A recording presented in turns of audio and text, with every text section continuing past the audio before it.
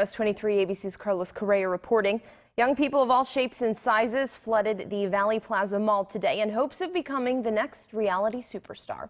Producers for the show America's Next Top Model are auditioning many people throughout the country and including right here in Bakersfield. The applicants filled out lengthy paperwork and some were even interviewed on camera for the show.